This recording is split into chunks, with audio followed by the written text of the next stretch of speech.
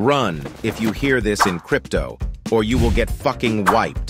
That's what Gareth Soloway means in his latest interview as he goes through his insane new prediction for Bitcoin and the crypto markets. Thanks to Gary Gensler and his market manipulation tactics, a lot is happening in crypto that is about to destroy everyone. If you put your money in Bitcoin or altcoins, you need to open your eyes and see Gareth's chart analysis in this video, or you will be one of them. And he's even predicting that Bitcoin and Ethereum will go down, just like my bank account goes when my wife uses my credit card, and this is not good. I think you and I both remember about a month or two ago when Bitcoin was knocking on that 30,000 door, everyone was saying, get ready, load the boat for the alt season move here. This is going to be it, remember? And um, we know that we know that that did not occur. And and one of the things that I brought forward, which is a very logical way of thinking, is I love to use this um, this kind of example, which is if you just take a market with 10 people in it, right?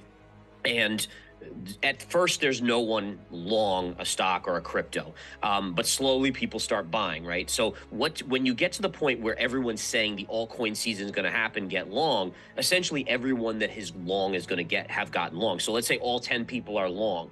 If prices haven't moved up at that point logic dictates that there's no one else to buy. And all it takes in the market uh, is one or two negatives, one or two sellers, and people start panicking and then start dumping. And so I think I think anytime in the future where you hear like, oh, this is going to happen. And by the way, this this is getting into the halving of it too. And and I'm I'm a skeptic that this next halving is going to have the impact that the last ones have because that's all I hear now. Oh, don't worry, the altcoin, you know, like don't worry, the halving is coming up. Just be ready for that.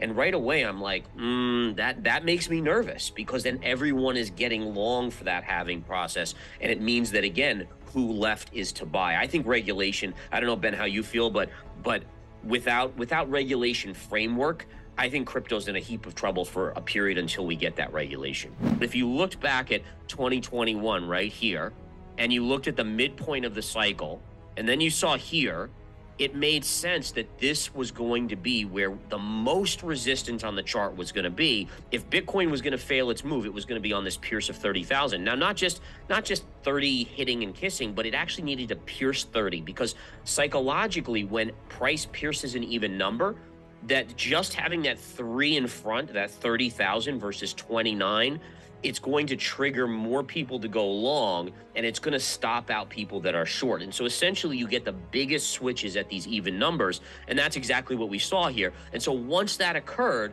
then price could actually start to come down because you got your max people long and there were not really any people left that weren't long at that point. Same thing with altcoins and, and so forth. And if you're not convinced yet, prepare for what's happening next. Not even the altcoins will survive this next crash, according to Gareth, as there's no regulation, and big money is afraid of entering the markets and getting scammed. You know, at some point, I do expect Bitcoin and Ethereum to crack and come down. And in general, that's not going to be good for the alts because if if you have people getting scared even at the top, the, the best. I mean, Bitcoin, again, if there's one that's going to survive that's not going to be regulated by the SEC, it's Bitcoin. If that breaks and starts to collapse down, let's say it even gets back to 20,000, very, very hard for money to feel comfortable to go into the even riskier assets like the Cardanos and the Solanas and those other ones as well. There's a reason why Gareth, a guy with 20 plus years of experience trading stocks, and now crypto is saying that a new crash is about to happen as soon as the hype comes. Remember that Gareth predicted the 2021 top for Bitcoin and said Bitcoin was coming back to 20K. And while everyone laughed and mocked him, saying Bitcoin was still flying, he proved right again. So when you have everything saying buy the dip now, here's what Gareth is thinking instead. So the same things in terms of what happened in 2021 and even what happened over the last few months with the the meme coin shitcoin kind of situation where where you had these people that were just they were bringing to market anything. I mean it could have been like hey, we drop ship you know widgets it like literally meant nothing but they would name their company widget.com right pets.com right. like all these dot coms and instantaneously they would shoot up hundreds of percentage they would 10x you know 15x 20x um, you'd have these pump and dump schemes, which again, unfortunately, crypto Twitter and some of these other things that's happened as well, where you had these people that would go on these message boards. Back then, by the way, the internet was in its infancy, but you still had these like Yahoo message boards where people would go on and pump and say, "Oh, this is going to be the next greatest thing."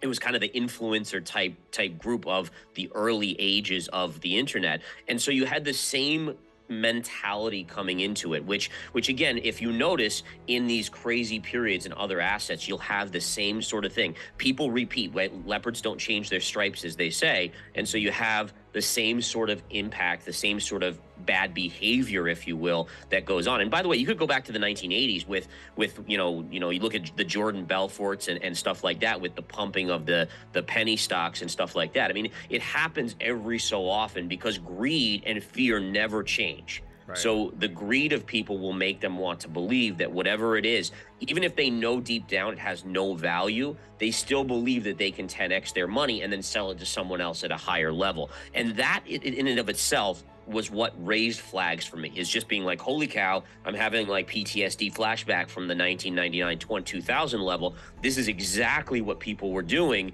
And look at how it came out. Something's wrong here. When you, when you have things that are being shilled that do not have any intrinsic value or use case even that's a warning sign. So So we have market manipulation happening. Hype in social media, the US government, banks and the Fed trying to take down crypto while there's no big money coming in. It makes sense that a massive crash is coming up next unless something changes. And there's more once we hit 2020, there was this flood of liquidity, right? You, you had so many situations where people were locked down, so they weren't driving, so they weren't spending money on gas, they weren't going out to eat, they weren't spending on money for food. The Fed, the government, the U.S. government was sending people checks if you made less than X amount of money, um, and so and so people, a lot of people were just sitting behind their computer looking and seeing what was going on and they have more and more money that they had in terms of liquidity and we know the fed was flooding the, the banking system with liquidity and so it kind of created this almost tidal wave of hey i've got lots of money i can't do anything with it let me figure it out. Oh, this is like, you know, it's, it's almost a gambler's mentality. Oh, this looks like something I can do. And all of a sudden you hear about stories about Dogecoin and someone making a, a $5 million on Dogecoin. And it's very much like the, the mentality of the lottery, right? Deep down, we know I, I, play the lottery when it's like above half a billion dollars, right? That's like my key thing. And, and deep down, I know I'm not going to win, but it's just fun. It's exciting. And so you get these people to kind of have this mentality of saying, hey, listen, if this person can do it, maybe I can win that lottery and 10x, 100x my money.